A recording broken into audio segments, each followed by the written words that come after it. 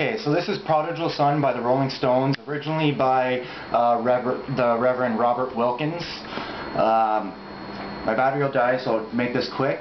Um, it's in open E, but I'm still going to refer to the strings as E, A, D, G, B, E from low to high, just for simplicity reasons. And it's basically four things put together and repeated over and over again. Um, you're going to get this picking pattern, this strumming I mean.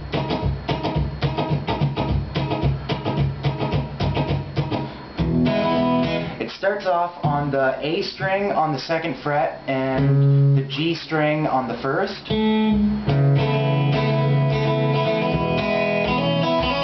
And that there is a hammer-on on your B string on the second fret. And then you're upstroking about three or four strings. Um, then there's a run that goes two,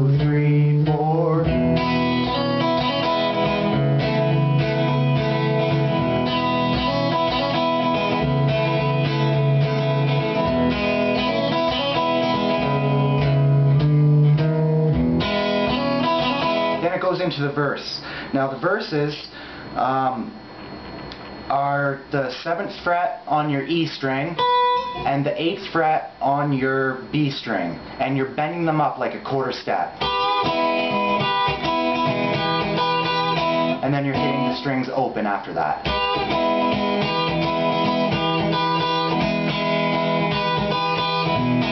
You're going back to that first chord you did at the beginning with your uh, second fret a string, first fret, G string.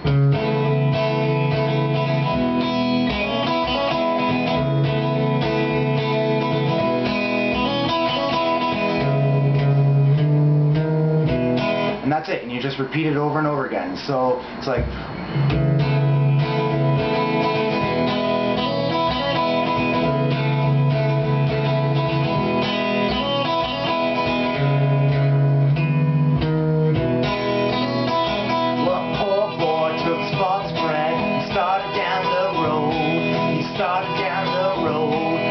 all we had and started down the road.